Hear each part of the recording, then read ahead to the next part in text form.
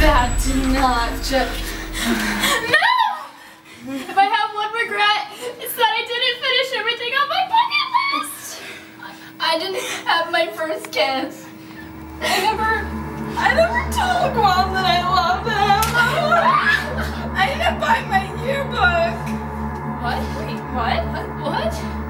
You had one job. It was online. It was only seventy dollars. Yearbookforever.com. You're in. What, what's wrong? Come here. Just oh, come here. It's our last and moment. We're gonna Sorry, guys. die. Good.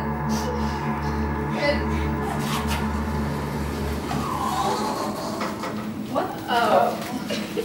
oh.